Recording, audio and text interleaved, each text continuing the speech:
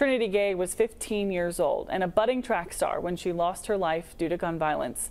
Every year since, a track meet has been held in her honor. As WKYT Samantha Valentino shows us, Trinity's legacy is being carried on by dozens of other young athletes. Many say Trinity Gay was born to run, the daughter of two time Olympian Tyson Gay. She was an All American athlete, making her own records on the track. The fact that she, you know, took after me and wanted to run, um, it was a, truly a blessing. But Trinity's track and field career was cut short when she was shot and killed at a Lexington restaurant in 2016. She was 15 years old at the time. Trinity just had a bright personality.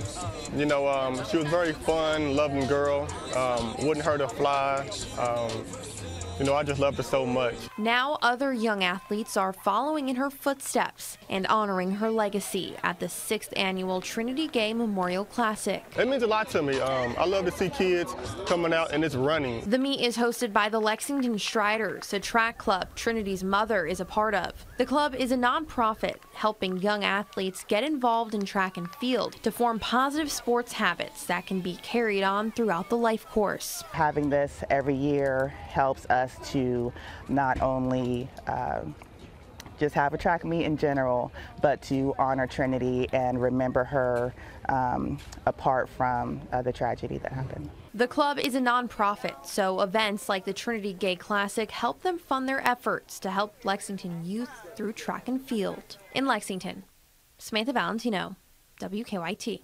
Now, all proceeds from that event will go toward the Lexington Striders Club team operation and as well as their athletes.